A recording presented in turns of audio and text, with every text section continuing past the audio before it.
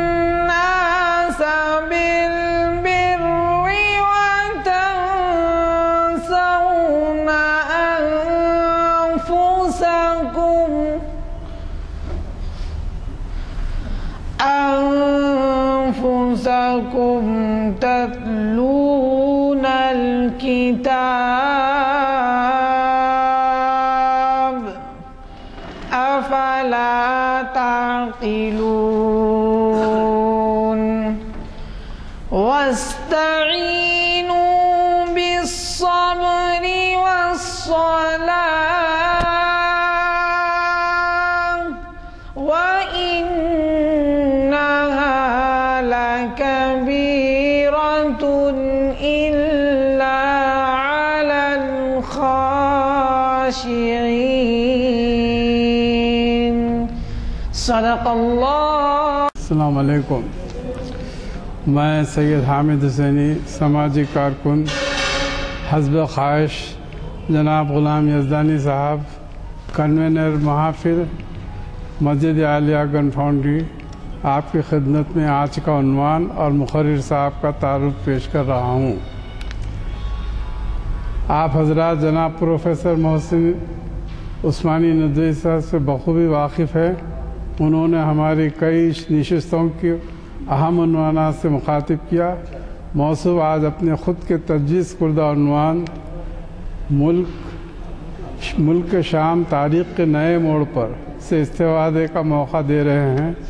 हमारी आज की ये महफिल तारीख़ इस्लाम की पाँच सौ बाईसवीं नशस्त बरोज़ हफ़्ता, उन्नीस जनवरी 2013 मुताबिक सात रबी अव्वल चौदह सौ चौंतीस हिजरी जाम मस्जिद आलिया गन फाउंड्री के कॉन्फ्रेंस हाल में मुनद हो रही है। हाफिज़ कारी मोहम्मद इरफान अहमद साहब की खुश इल्हान किरत कलाम पाक से इसका आगाज़ हुआ है। मैं मोहतरम प्रोफेसर उस्मान नदवी साहब से गुजारिश करता हूँ कि शह नशीन पर तशरीफ़ लाएँ और हमें अपने खिताब से सरफराज फरमाएँ। रसूल करीम अम्माबाद मोहतरम जनाब ग़ुलाम यजदानी साहब मोहतरम जनाब हामिद हुसैनी साहब और हाजरीन मजलिस आज वक्त कम है कोशिश होगी कि मुख्तसर वक्त में इस पर मुल्क शाम तारीख़ के नए मोड़ पर आपके सामने अपनी कुछ मरूज़ात पेश करूँ। आप हजरात जानते हैं कि ये शाम का इलाका जो इस वक्त आग और खून की सरजमीन बन गया है, हज़रत उमर बिन ख़त्ताब रज़ी अल्लाह तु के ज़माने में हज़रत अबू उबैदा बिन जर्राह और हज़रत खालिद बिन वलीद के हाथों फतह हुआ था। और बहुत जल्द इस पूरे मुल्क ने इस्लाम कबूल कर लिया था और ये पूरा ख़त्ता इस्लाम के आगोश में आ गया था। और खिलाफत राशदा के बाद ऐसा हुआ कि ममलकत इस्लामिया का पाया तख्त, हमारी आवाज़ कुछ ज़ुकाम और नज़ले की वजह से थोड़ा सा इसे आप गवारा कर लें। दमिश्क जो है पाया तख्त बन गया। और पूरे आलम इस्लाम का सबसे बड़ा इल्मी, सकाफ़ती, सनती, तहजीबी, तमदनी मरकज़ बन गया। और फतूहत का दायरा इतना फैला कि स्पेन की सरजमीन तक, स्पेन के हदूद तक, मुल्क चीन तक और पूरा मिस्र और इराक़ और ये सारे ख़त्े ईरान, ये सब के सब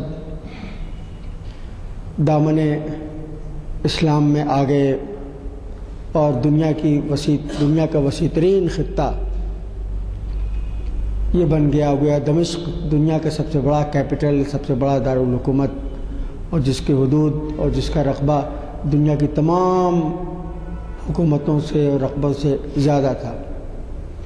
इसी आलिशान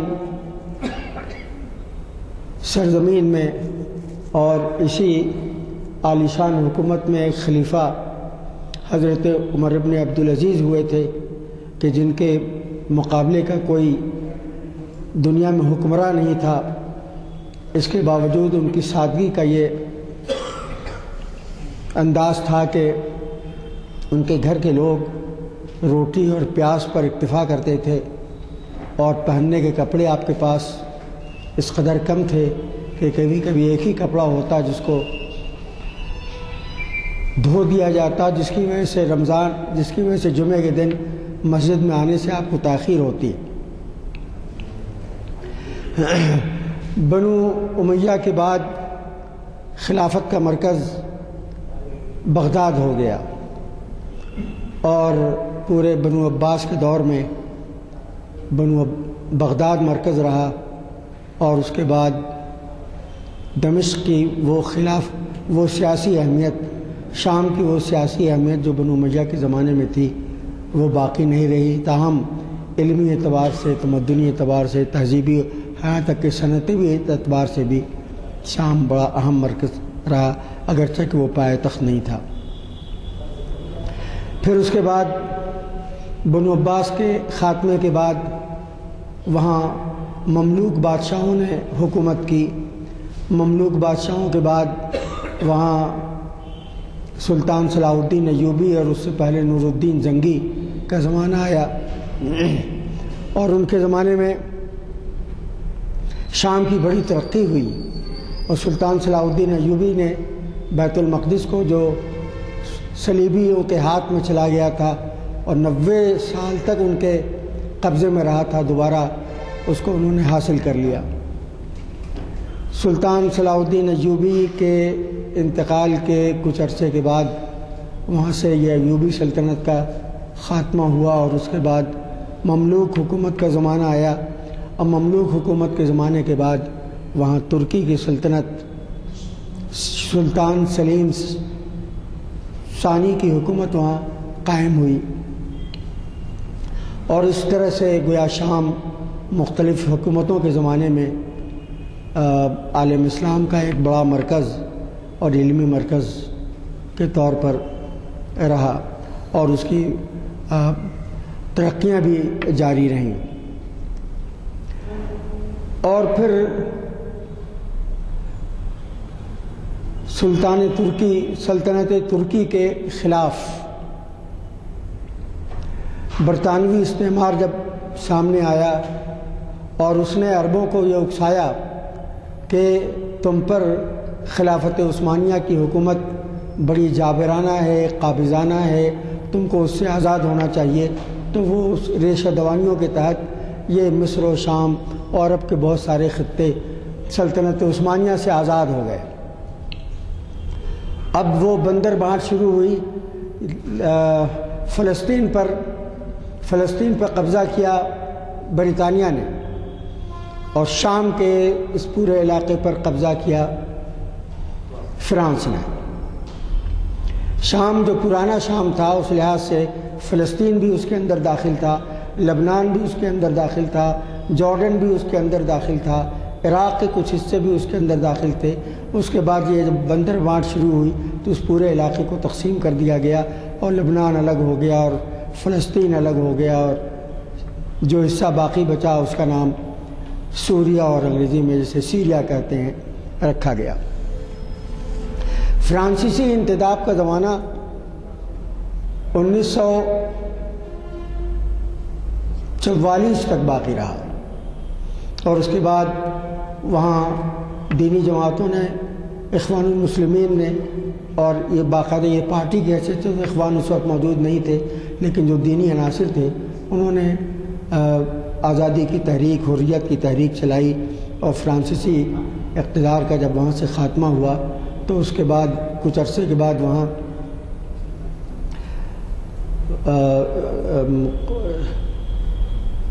कोतली शकरुल कोतली वहाँ के हुक्मरा हुए और उसके बाद वहाँ बास पार्टी कायम हुई और वहाँ हाफिजुल असद 1970 और इकहत्तर से वहाँ के हुक्मरा हुए। ये जो बास पार्टी वहाँ कायम हुई, ये दरहकीकत कम्युनिज़म, कम्युनिस्ट पार्टी का अरबिक वर्जन है। यानी अपने नज़रियात के अतबार से और अपने माशरे के अतबार से सब कुछ हो गया। कम्युनिस्ट पार्टी थी। और चुनानचे दीनी जमातों पर और दीनी शख्सियतों पर बेानतहा मजालिम शुरू हुए। जब, बास पार्टी की गैर दीनी और मुलहदाना रुझानात के ख़िलाफ़ और मुल्क में निज़ाम दीनी को मज़बूत करने के लिए जब हमा और हिम्स से इखवान मुस्लिम के लोग उठे और दूसरी दीनी जमातों के लोग उठे तो उन पर हाफिज असद ने इतनी सख्त बमबारी की, गोलाबारी की कि पूरी पूरी बिल्डिंग्स को, जिसमें अगर दो चार अखवानी भी रहते थे, मलियामेट कर दिया गया। और अंदाज़ा यह है कि तीस हज़ार दीनी रुझान रखने वाले लोग, जिसमें अखवानी और गैर इखवानी सब शामिल थे, उसके अंदर मारे गए और कत्ल किए गए। गोया पूरा हिम्स का इलाका और हमा का इलाका गंज शहीदा से बदल दिया गया। वो ज़माना मीडिया का ज़माना नहीं था, जिस तरह इस ज़माने में है, वो ख़बरें लोगों तक पहुँची और बहुत बाद में पहुँची, लेकिन हाफुल असद बहुत ही खूखार किस्म का इंसान था और बहुत ही बालिम और डिक्टेटर कस्म का इंसान था और किसी की भी हुकूमत में शिरकत वो गवारा नहीं करता था, सिर्फ़ उसके चंद साथी, दोस्त अहबाब और उसके रिश्तेदार। फ्रांसीसी इंतजाब के ज़माने में जब आ, दीनी जमातों ने इकतदार हासिल करने की इकतदार से हटाने की फ्रांसीसी इंतजाब की कोशिश की तो उसके जवाब में ये किया गया कि तमाम वहाँ की अकलीतों को यानी अलवियों को नुसैरियों को हुकूमत में और ख़ास तौर पर फ़ौज में दाखिल किया गया। और जब हाफिजुल असद आए तो खुद ही खुद भी वो अलवी व नुसैरी थे, इसलिए उन्होंने फ़ौज में तमाम ऊपर और दरमियानी दर्जे के अहदों को, अलवियों और नुसैरियों को दे दिया। और हुकूमत के भी तमाम कलेदी अहदे सब के सब उनके हाथ में दिए गए।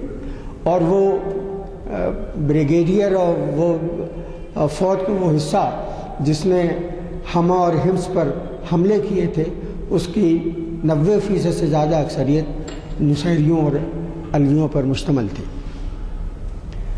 ये शदीद किस्म की डिक्टेटरशिप, इस्तबदादी निज़ाम का ज़माना है, जो गया 1970 हाफिज असद के दौर से लेकर के गोया बशारसद के दौर तक जारी रहा। तीस साल इकतदार रहा हाफिज असद का। हाफिज असद के मरने के बाद इकतदार बशार असद के हाथ में आया। जब गुजशत चंद सालों में अरब के बहुत से मुल्कों में इनकलाबात आने शुरू हुए और सबसे पहले ट्यूनिस में इनकलाब आया और अली जैनआबदीन को राह फ़रार अख्तियार करनी पड़ी और उसके बाद मिस्र में हसन मुबारक की डिक्टेटरशिप का ख़ात्मा हुआ और फिर लीबिया के ताना शाह कजाफ़ी के तक की हुकूमत का तख्ता उलट दिया गया। उसी ज़माने में शाम के लोग भी इनकलाब के लिए खड़े हुए। शुरू शुरू में इनकलाब के लाने वाले और इनकलाब के लिए खड़े होने वाले वो लोग थे जिनके बाप दादा को हाफिजुल असद ने शहीद किया था। ये कुछ तख्ते ले, कुछ पट्टियों को पेशानी पर कुछ पट्टियाँ बाँध करके।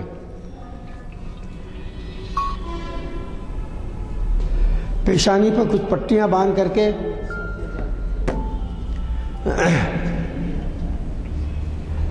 सड़कों पर आ गए और उन्होंने कहा कि हम असलाहत चाहते हैं या मौजूदा हुकूमत का खात्मा चाहते हैं। पुलिस वालों ने इन तमाम नौजवानों को गिरफ़्तार किया और तहजीब खानों में रख करके उन्हें इतना मारा इतना मारा कि उनकी खाल उधेड़ दी, उनके चेहरे बिगाड़ दिए और सख्त ईज़ा रसानी के बाद उनको जब आज़ाद किया गया तो उनके माँ बाप उनके वालदेन, उनके रिश्तेदारों ने, उनके दोस्त अहबाब ने, महल्ले वालों ने जब उनको देखा तो उन्हें उसका सख्त सदमा पहुँचा। उसके बाद ये इनकलाब की तहरीक फैलने लगी और मुजाहरे शुरू हुए। जब ये मुजाहरे शुरू हुए और कई शहरों में हुए तो हुकूमत की पुलिस ने, फ़ौज ने उन्हें गोलियों के बाढ़ पर रख लिया और दर्जनों आदमी उसके अंदर शहीद हुए। लेकिन अब ये लावा आतशा बन गया था और उसने पूरे मुल्क को, पूरे शाम को अपनी लपेट में ले लिया और कोई शहर ऐसा खाली नहीं रहा, कोई आबादी ऐसी खाली नहीं रही जहाँ जुलूस मनज़म न किए जाते हों, जहाँ जलसे मनज़म न किए जाते हों। और ख़ास तौर से जुमे का दिन वो बहुत ज़्यादा इनकलाबी दिन होता है कि जुमे की नमाज़ के बाद लोग जुलूस की शक्ल में निकलते हैं और नारे लगाते हुए नहन उस उसख़ात निज़ाम, हम इस निज़ाम का ख़ात्मा चाहते हैं, उसे ख़त्म करना चाहते हैं। इस पूरे अरसे में शुरू शुरू में लोग खामोश रहे और फिर बतदरीज खलीजी ममालिक के लोग, उन लोगों ने शाम की हमायत में अपनी आवाज़ बुलंद की। मगरबी मुल्कों ने अपनी आवाज़ बुलंद की, अमेरिका ने अपनी आवाज़ बुलंद की और कहा कि वहाँ जमहूरीत होनी चाहिए और वहाँ के लोगों को उसका हक मिलना चाहिए। ये जो रोज़ाना सौ, डेढ़ सौ आदमियों को जो रोज़ाना बम्बारी करके मारा जा रहा है, इसका ख़ात्मा होना चाहिए। इसलिए कि बशार असद को कोई हक़ नहीं है। इस तरह से हुकूमत करने का, वो ना इंतबात के ज़रिए से मंतखब होकर के आए हैं, ना आवाम ने उनको मंतखब किया है, और इस तरह से उनका कोई इकतदार का हक बाकी नहीं बच रहता है। रूस ने और चीन ने और ईरान ने पूरे तरीके से शामी हुकूमत का बशार असद का साथ दिया। रूस ने तो इसलिए कि बास पार्टी था कि हमने कहा कि कम्युनिस्ट पार्टी का अरबिक वर्जन थी वो, और वही उसका निज़ाम था, उसके नज़रियात थे। उसके अलावा लाखों मिलियन डॉलर के असलहे, ये सब रूस से शाम को मिले हुए थे। और फिर शाम में बड़ी पैमाने पर रूस की और चीन की सरमाकारी थी। इसलिए रूस और चीन ने बशार के साथ दिया, और बड़े पैमाने पर जो अवामी बगावत हो रही थी उसकी मुखालफत की थी। सबसे ज़्यादा हैरत अंगेज़ रवैया ईरान का था। यानी वो ईरान जिसने मिस्र में जब हुसन मुबारक के ख़िलाफ़ इनकलाब का आगाज़ हुआ तो उसने आवाम का साथ दिया और कहा कि ये अब इस्लामी इनकलाब है। उसने उसी तरह से लीबिया में भी और चूनिस में भी आवाम का साथ दिया था। वो ईरान जिसका, जिसके इनकलाब का नारा था कि ला सुन्निया वला शिया, ला शर्किया वला गरबिया, यानी न सुन्नी उसने उसने शाम में सिर्फ़ इसलिए कि बशार असद एक नुसैरी अलवी शिया है, इसलिए उसने वहाँ शिया का साथ दिया। और वो आवाम जो जमहूरी इनकलाब चाहते हैं, वो आवाम जो वहाँ की इस्लामी इनकलाब चाहते हैं, उनका ईरान सख्त मुखालिफ हो गया। ये गोया इस बात का सबूत है कि ये जो नारा था ला सुन्निया वला शरी, ला सुन्निया वला शिया, ये ये नारा बिल्कुल दुरुस्त नहीं था। और ये खालिस खालिस शी इनकलाब था। वरना क्या वजह थी कि जब मिस्र में अवाम का साथ दिया गया, जो इस्लामी इनकलाब लाने वाले थे, यही इस्लामी इनकलाब लाने वाले, यही अखवान के लोग शाम में जब नब्बे फ़ीसद से ज़्यादा के इससे जब खड़े होते हैं तो उसने नब्बे फ़ीसद वालों को नज़रअंदाज करके बशार असद का और उसके रिश्तेदारों का जो हुकूमत के अहदों पर है, उनका साथ दिया। और फिर झूठ ये बोला गया कि साहब बशार असद के साथ वहाँ के सारे अवाम हैं। और जो लोग लड़ रहे हैं, वो दर हकीकत बाहर के चंद कुछ लोग हैं जो आकर के वहाँ लड़ रहे हैं। हालाँकि हकीकत यह है कि असल मुजामत कार और असल जिहाद करने वाले और इनकलाब की कोशिश करने वाले शाम के नबे फ़ीसद अवाम है। ये बात दुरुस्त है कि बाहर के कुछ लोग भी उसमें शरीक हुए हैं। ये जो मुसलमानों में जो जिहाद का जज्बा होता है। मुसलमानों के अंदर जो शहादत की तमन्ना होती है, वो तमन्ना उन्हें खींच करके वहाँ ले आती है। वो तफरी गाहों में जाने के मुकाबले में, शहादत गाहों में जाना ज़्यादा पसंद करते हैं, ताकि उन्हें शहादत नसीब हो और जैसा कि फैज़ अहमद फैज़ का शेर है, जिस जिस ढट से कोई मकतल में गया, वो शान सलामत रहती है, ये जान तो आनी जानी है। इस जान की कोई बात नहीं। चुनते वहाँ इसलाह की और सियासी हल की जितनी कोशिशें की और इस्लामिक कंट्रीज़ के लोगों की, की जो ऑर्गेनाइजेशन है अरब लीग की जो ऑर्गेनाइजेशन है उसके बाद कोफ़ी अनान आए और उसके बाद अखज़र इब्राहिमी आए ये सारी कोशिशें सारा सारा हल नाकाम हो गया। इसलिए कि वो किसी की बात सुनने के लिए तैयार नहीं है। बशारुल असद किसी की बात सुनने के लिए तैयार नहीं है।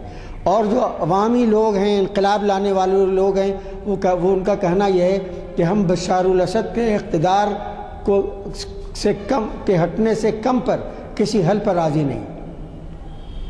इसलिए कि वहाँ का असल हल यह है कि वहाँ इलेक्शन होना चाहिए जैसे मिस्र में इलेक्शन हुआ। इलेक्शन के ज़रिए जो भी जमात जो भी ऑर्गेनाइजेशन और जो भी ग्रोह, तहरीक जीत करके आएगी, उसके हाथ में इकतदार होगा। लेकिन बशारुल असद को इकतदार का ऐसा चस्का पड़ गया है कि वो इकतदार से हटने के लिए तैयार नहीं। ये सुनने के लिए तैयार नहीं कि वो इकतदार की कुर्सी से हटेंगे और दूसरी तरफ़ वहाँ के इनकलाबी एक लोग हैं जो इससे कम पर किसी चीज़ पर तैयार नहीं है कि बशारुल असद को इकतदार छोड़ना होगा। नतीजा यह है कि सारी कोशिशें मुसालहत की और हल, सियासी हल ढूँढने की नाकाम हो गई हैं। अब एक तरफ़ वहाँ के लोग हैं, वहाँ के अवाम हैं, वहाँ के दीनी पसंद जमातें हैं जो जिहाद के जज्बे से मामूर हैं। दूसरी तरफ़ बशार असद उनका गिरोह है, जो इकतदार का चस्का जिसे लग गया है और किसी हाथ, हाल में वो कुर्सी से हटने के लिए तैयार नहीं है। अब ये खेल कब ख़त्म होगा, कुछ कहा नहीं जा सकता। इस वक्त सूरत हाल ये है कि बशार असद की बीवी और उसकी माँ मुल्क को छोड़ करके जा चुके हैं। बशारुल असद की अपनी बहन ने दुबई के अंदर पनाह ले रखी है। ख़ुद बशारुल असद इस पोजीशन में नहीं है। लाजिकिया जहाँ अलवियों और नुसैरियों की ज़्यादा बड़ी जमात है लाजिकिया से दमिश का सफ़र ज़मीनी रास्ते से कर सकें। ज़मीनी रास्तों पर ज़मीन पर ज़्यादा कंट्रोल जो है वहाँ के इनकलाबियों का है। और लेकिन फ़जाई बरतरी वहाँ की फ़ौज को हासिल है। भारी आ, भारी असलहे जो हैं फ़ौज के पास हैं। और ये वो दुनिया के वो मुल्क जो शाम के अवाम की हमायत कर रहे हैं, मगरबी ममालिक भी हैं और अमरीका भी हैं, वो भारी इसलिए देने के लिए इसलिए तैयार नहीं है कि उसे अंदेशा यह है कि ये फंडामेंटलिस्ट कहीं इन को इसराइल के ख़िलाफ़ इस्तेमाल न करें। इस वक्त सूरत हाल यह है कि नकील जो है ईरान की शाम की, वो ईरान के हाथ में है। ईरान के पासदारान इनकलाब के लोग, ईरान की फ़ौज वहाँ काम कर रही है हिजबुल्ला के लोग वहाँ काम कर रहे हैं और देर सवेर अल्लाह ताला वहाँ के दीनी जमातों को जो वहाँ के जमहूरीत लाना चाहते हैं, इस्लामी निज़ाम लाना चाहते हैं, देर सवेर उनको कामयाबी ज़रूर होगी। लेकिन उसमें कितना वक्त लगेगा यह कहना मुश्किल है। चालीस साल से जो वहाँ इमरजेंसी नाफिज है, वो इतनी सख्त है, इतनी ज़्यादा सख्त है कि किसी को गुफ्तु करने की आज़ादी आज़ादी नहीं, किसी को लिखने की आज़ादी नहीं। जब हमारा शाम का सफ़र हुआ था तो वहाँ के सरकारी सफ़र हुआ था और वहाँ की यूनिवर्सिटियों में जाने का मौका मिला था और हिंदुस्तान में अरबी ज़बान के इरतका पर कुछ लेक्चर देने का मौका मिला था। हमारा वहाँ मिलना जुलना वहाँ के उलमा और दीनी जमातों से भी होता था। एक बार हमसे किसी ने कहा कि चलिए आपको दीनी इज्तम में ले चलते हैं। तो वो दीनी इज्तम में हमने सुन कर बड़ा जलसा होगा कॉन्फ्रेंस होगी। हम गए वहाँ पर तो देखा कि एक घर है, उसका जो बाहर का जो हिस्सा है ड्राइंग रूम है, उसके अंदर कुछ लोग बैठे हुए हैं और अब दरवाज़ा बंद रखा गया है, हमने पूछा कि आपने बाहर जलसा क्यों क्यों नहीं किया? ज़्यादा लोग आते तो कहने लगे कि इसकी इजाज़त नहीं, कोई दीनी जलसा, कोई मीलाद का जलसा, कोई सीरत नबी का जलसा तक वहाँ नहीं हो सकता। दरवाजे बंद करके, बाहर ताला बंद करके, खुफिया तरीके से दीनी जलसे और मिलाद के जलसे होते हैं। और ये चालीस साल से, हिंदुस्तान में चंद महीने की इमरजेंसी लोग बर्दाश्त नहीं कर सके और इनकलाब के लिए खड़े हो गए। तो 40 साल की इमरजेंसी जिसमें किसी को बोलने की इजाज़त नहीं, किसी को हुकूमत के ख़िलाफ़ लिखने की इजाज़त नहीं, कैसे बर्दाश्त कर सकते थे? एक और किस्सा सुना करके से ख़त्म करते हैं कि वहाँ की सूरत हाल क्या रही है। हज़रत मौलाना अबुल हसन अली नदवी साहब जब सीरिया गए तो वहाँ की एक बड़ी दीनी शख्सियत उनके साथ कहीं जा रही थी किसी प्रोग्राम में, और टैक्सी पर बैठ करके तो दीनी शख्सियत बहुत शिकायतें कर रही थी कि यहाँ मजहबी लोगों पर और मजहबी कामों पर कितनी पाबंदी है और कितनी सख्ती की जा रही है, वो खुल करके अपना अहवाल बयान कर रहे थे मौलाना अली मियाँ से। और उसके बाद अचानक वो जो दीनी शख्सियत थी, हम नाम भी बता सकते थे, लेकिन उसकी ज़रूरत नहीं, बताना भी नहीं चाहिए। उन्होंने, उनको अचानक महसूस हुआ कि कहीं ये टैक्सी के ड्राइवर मुखबिर ना हो, तब तो उनके हमारी हमेशा के लिए उनका खात्मा हो जाएगा। तब उन्होंने फ़ौरन बात पलटी और कहा कि देखिए, ये बातें जो हमने आप, आपको बताई हैं, बहुत से हलकों से आप सुनेंगे। आप कभी इस पर यकीन नहीं कीजिएगा। मैंने ये बात इसीलिए बताई है आपको कि इस तरह की मिलती जुलती बातें आप बहुत से लोगों से सुनेंगे। ये सब झूठ और फरेब है। तो यहाँ की बड़ी बड़ी दीनी शख्सियतें बात करने में इतनी डरती हों और हर आदमी डरता हो कि कहीं उसके दाएँ तरफ़ कोई मुखबिर ना हो, बाएँ तरफ़ कोई मुखबिर ना हो। ये सूरत हाल है जिसमें वहाँ के लोग अपनी आज़ादी के लिए, अपनी इज़्ज़त नफ्स के लिए, अपने जमहूरी हकूक़ के लिए और अगर अल्लाह ताला मौका दे तो इस्लामी निज़ाम के नफाज के लिए, वहाँ के लोग, वहाँ के लोग खड़े हुए हैं, वहाँ के अवाम के लोग खड़े हुए हैं और लाखों लोगों ने वहाँ से हिजरत की है, दूसरे मुल्कों में पनाह हासिल की है। सर्दी के ज़माने में बहुत से लोग गारों में पनाह ले करके और इतनी शदीद सर्दी पड़ती है कि हिंदुस्तान में शायद कश्मीर में पड़ती हो, दूसरी जगह उसका तस्वर नहीं किया सकता। वहाँ छोटे छोटे बच्चे, औरतों के साथ लोग सर्दियों से मर रहे हैं। घरों में रहना इसलिए मुश्किल है कि किसी वक्त भी आसमान से बमबारी हो सकती है। बाहर जाना तो बाहर जा करके न कहीं खाने के इंतज़ाम, न कहीं सर्दियों से बचने के इंतज़ाम। इस हालत में शाम के लोग अपनी ज़िंदगी गुजार रहे हैं। इसीलिए हमने कहा कि शाम तारीख़ के नए मोड़ पर। शायद तारीख़ में कम ऐसा हुआ होगा कि इतनी बड़ी कुर्बानी दी गई होगी। यानी साठ हज़ार की तादाद तो वो है जिनकी लाशें गिनी जा चुकी हैं। पच्चीस हज़ार की वो तदाद है जिनके बारे में यूसुफुल करजावी ने कहा कि उनकी लाश, जो लापता हैं, कहा गया है कि उनकी लाशों को उठा करके समुंदर में फेंक दिया गया है। और वो तीस हज़ार जो हाफिज़ असद ने मारे थे, उन सबको अगर मिलाया जाए तो ये तादाद लाख से ऊपर हो जाती है। इतनी बड़ी कुर्बानी दीन हक के लिए, इंसाफ के लिए, इज़्ज़त नफ्स के लिए शाम के लोग दे रहे हैं। इसीलिए हमने इसको अनुमान बनाया था शाम तारीख़ के नए मोड़ पर। और हमें दुआ करना चाहिए कि अल्लाह ताला ने कामयाब करें। जैसे कि आप वाकिफ हैं, आज एक बहुत ही अहम प्रोग्राम, आप तशीफ रखें बहुत ही अहम प्रोग्राम उर्दू हॉल में है, उसके लिए हम इस महफिल को मुख्तसर कर रहे हैं। मुझे बड़ी खुशी है कि हमारे जो मुखर्रीन हैं, वो हालात के नफ्स पे हाथ रखे हुए रहते हैं और हमें ऐसे मवाद से आगाह कराते हैं जो अखबारों में शायद नहीं मिलता। इसकी वजह यह है कि कई अखबार एक दूसरे से मुख्तलिफ़ रिपोर्टिंग करते हैं और अपने आप को जस्टिफाई करते हैं और वहाँ के हालात को अपने रंग रूप में पेश करते हैं। मैं मौलाना का मैं शुक्रगुजार हूँ कि उन्होंने हमें ऐसी महफिल को जिसको इबादत का दर्जा हासिल हुआ है, एक हमारे बिरादराना मुल्क के बारे में इतनी तफसीलात बताई, जिससे कि हम वाकिफ नहीं थे। सिवाय इसके कि इतने लाख मरे, इतने हज़ार मरे, इतने हज़ार मरे, इसके सिवा कुछ नहीं। और कई लोग ये भी ख्याल करते हैं कि सिर्फ़ अंग्रेज़ों का खेल है या फिर सब अमेरिकनों का खेल है। लेकिन अब ये देखिए कि ये मुसीबत अपनी खुद की भी लाई हुई है और आज के खिताब से ज़ाहिर हो रहा है कि खुद इस्लामी ममालिक इस पर नज़रिया नहीं रखते, बल्कि आपस में इतने अख्तलाफा रखते हैं। अब ऐसे अगर अकायद हों, आप बताइए कि इन अकायद का इस्लाम के रूह और नफ्स से कितना ताल्लुक़ है? कि ऐसे अकायद हों जिसमें खुदा मान लिया गया हो या सितारे माने गए हों? बहरहाल, मैं आप सबसे गुजारिश करता हूँ कि आज की एक महफिल, वो जो है उर्दू हॉल में आला हज़रत हजूर निज़ाम के तबीब थे, नवाब मकसूद जंग बहादुर बहुत ही आलम आदमी थे और वो तबीब भी थे उनके। उनके साहबजादे मुस्तफ़ा शहाब साहब, वो लंदन जाके बस गए और वहीं के वो रहे, लेकिन वहाँ उन्होंने उर्दू के बारे में बहुत खदमात अंजाम दी हैं। उन्हीं की एक तसनीफ़ का आज की रस्म इजराई है उर्दू हॉल में। आप ज़रूर तशरीफ़ लाएँ और उससे इस्तेफादा करें। बैरून मुल्क के और शिरकत करने वाले और ये सब नामवर लोग हैं। चुनाचे इस वक्त दुनिया उर्दू के एक बहुत बड़ी अजीम हस्ती। गोपी चंद नारायण इसकी सदारत कर रहे हैं और उसमें मेहमान खुशी हैं और डॉक्टर जियाउद्दीन शिकैत, जिनको आप यहाँ कई दफ़ा सुन चुके हैं, वो मेहमान खसूसी वो सदारत कर रहे हैं। और दूसरे दीगर लोग भी बहुत हैं, मैं तफसीत में नहीं जाना चाहता। आपसे गुजारिश है कि महफिल को मत मिस कीजिए और आप खुद याद रखेंगे कि एक तारीखी महफिल है। चूँकि दुआ हो चुकी है, महफिल की बर्खास्त